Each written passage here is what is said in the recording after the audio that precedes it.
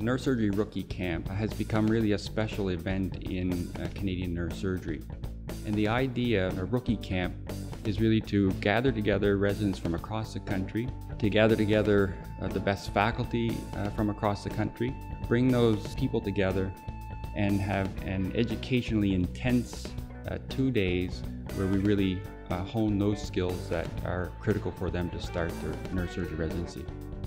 What we've been able to do is provide those residents during the two-day course several educational opportunities that are focused, all of them around specific patient cases.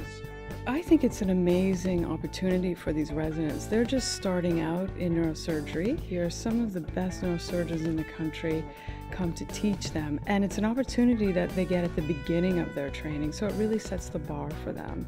This is very important time because it's an important time of transition for them as they transition from medical school, where they're essentially supervised for all of their clinical activities, to starting their residency.